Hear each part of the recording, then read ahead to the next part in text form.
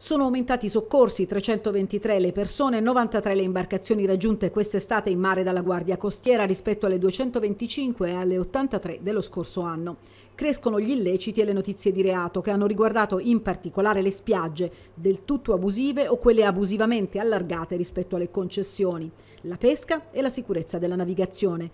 Ben tre comandanti di traghetto sono stati denunciati perché trasportavano oltre 100 passeggeri in più.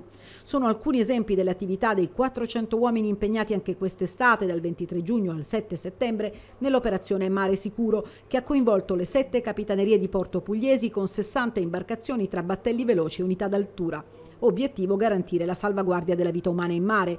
Complici le condizioni meteo variabili, quest'estate sono aumentate anche le richieste di soccorso al 1530, un numero utilizzato anche dagli immigrati a bordo dei barconi alla deriva. Oltre 20.000 controlli rispetto ai 15.000 dell'anno scorso e anche l'attività diciamo, repressiva è stata superiore rispetto all'anno scorso, 1.024 verbali amministrativi, 115 notizie di reato, quindi un incremento di un 20-30% in più rispetto all'anno scorso.